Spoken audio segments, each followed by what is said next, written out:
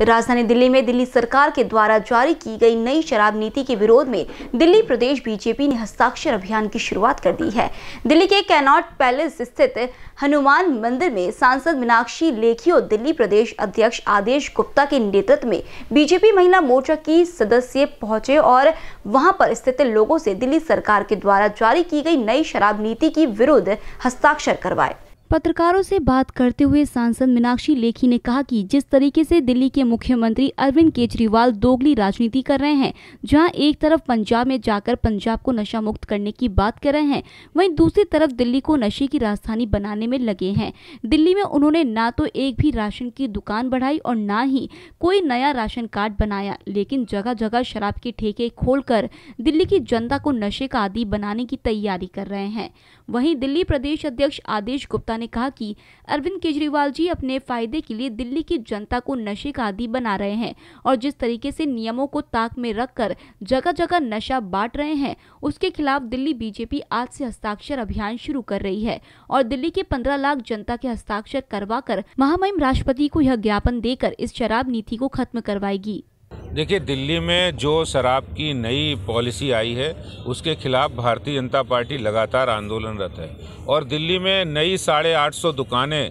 ठेके खोलकर दिल्ली के युवाओं को, दिल्ली के लोगों को शराब के नशे में झोंकना, ये दिल्ली सरकार के खिलाफ एक जन आंदोलन है। और हमने महात्मा गांधी जी की समाधि से आंदोलन की शुरुआत की है। आज से पूरी दिल्ली में हमारा हर मोर्चा आज कनाट प्लेस में महिला मोर्चा के द्वारा ये हस्ताक्षर अभियान पूरी दिल्ली के अंदर चलेगा और हम पंद्रह लाख से ज़्यादा लोगों के हस्ताक्षर एक हफ़्ते और दस दिन के अंदर करा के महामहिम राष्ट्रपति जी को एक ज्ञापन सौंपेंगे और उनसे प्रार्थना करेंगे कि दिल्ली की ये निकम्मी सरकार है, बहरी सरकार है, जो शराब की नई पॉलिसी में हर गली मोहल्ले पर, नुक्कड़ पर शराब की दुकानें खोलना चाहती आप तुरंत इन इस अध्या ये अध्यादेश जारी करें। कैंपेन चल रही है दिल्ली सरकार की केजरीवाल जी की शराब की नीति के खिलाफ।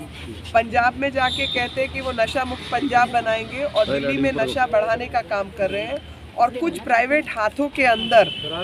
नशे की दुकानें बेचने का काम कर रहे हैं क्योंकि जहाँ तक शराब की बात है शराब तो दिल्ली में पहले भी बिक रही थी और दुकानों की कोई कमी नहीं थी। राशन की दुकानों की संख्या नहीं बढ़ी। राशन के जो राशन कार्ड है उनकी संख्या नहीं बढ़ी लेकिन शराब बेचने की संख्या बढ़ गई है और उसके बढ़ाने के पीछे जो मकसद है वो कहीं ना कहीं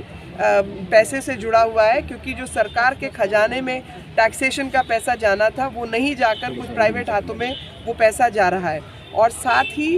जो आ, आ, संख्या है वो बढ़ाई जा रही है नियम कानून का उल्लंघन करते हुए। कई जगहों पर नियम है कि एक शराब की दुकान जहाँ पर है, उसके कुछ डिस्टेंस के बीच में दूसरी शराब की दुकान नहीं हो सकती। लेकिन इन्होंने दो दो शराब की दुकानों को जॉइंट कर कर के उन नीति का लाभ उठाते हुए और इस तरीके की हरकतें की हैं, जिससे महिलाएँ खास तौर पर जिनके जिनको रोज़ वहाँ से आना जाना होता है उनकी सेफ्टी सिक्योरिटी सुरक्षा और इन तमाम गतिविधियों से परेशान है और दिल्ली से संवाददाता ब्रजेश कुमार की रिपोर्ट।